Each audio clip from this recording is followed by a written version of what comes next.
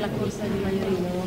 Sì, è un'iniziativa che vuole sostenere e dare la carica finale a questa corsa di Pierfrancesco Maiorino il miglior candidato possibile per scrivere una fase nuova di cui Regione Lombardia ha molto bisogno, ne hanno bisogno le persone che vivono in questa regione sotto il pessimo governo di questi più di vent'anni di governo delle destre. Siamo qui per mettere al centro la sanità pubblica, universalistica, siamo qui per mettere al centro il diritto allo studio, il diritto alla scuola, siamo qui per mettere al centro il diritto alla casa, che è un diritto fondamentale purtroppo dimenticato da chi governa questa regione. E siamo qui anche per rinnovare il nostro impegno impegno sul tema del clima, dell'emergenza climatica, proprio in questa città, visto la forte mobilitazione delle giovani generazioni. Ecco, siamo qui per dare rappresentanza e voce a chi troppo a lungo in questa regione non l'ha avuta.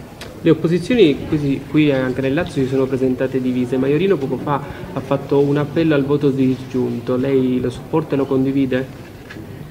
Ma guardi, io penso che Abbiamo fatto lo sforzo per queste regionali di costruire alleanze solide facendo appello all'unità delle forze alternative alle destre.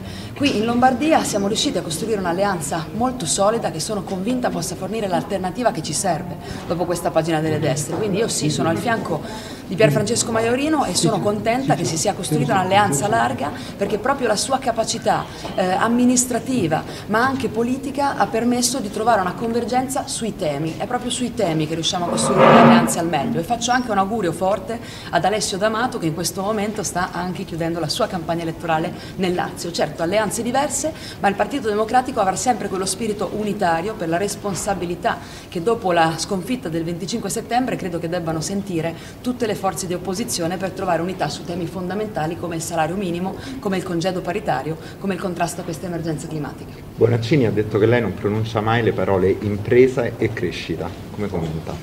che dovrebbe venire più spesso ai nostri comizi e che comunque non credo che il PD abbia perso le elezioni, perso molti elettori perché non pronuncia abbastanza eh, la parola impresa o crescita, ma forse perché non ha fatto abbastanza contro la precarietà. Noi in questa sfida stiamo mettendo al centro tre grandi temi, il contrasto a ogni forma di diseguaglianza perché sono aumentate attraverso la crisi economico-finanziaria e poi quella pandemica, contrasto alla precarietà del lavoro, perché purtroppo anche gli errori che ha fatto in passato il Partito Democratico hanno fatto sì che oggi le giovani generazioni conoscano soprattutto, quasi esclusivamente, contratti a termine, contratti precari, salari da fame. E poi la grande questione appunto della conversione ecologica, che invece riguarda proprio come una politica possa rimettere al centro una visione che accompagni tutta la società, lavoratrici e lavoratori, a un grande investimento sulle competenze che servono per guidare questa transizione ecologica e digitale, ma anche le imprese, soprattutto quelle piccole e medie, tante delle quali hanno già capito che puntare sull'efficientamento energetico, sull'economia circolare e sull'energia rinnovabile è un vero modo per creare buona impresa e soprattutto nuovo lavoro di qualità. Grazie.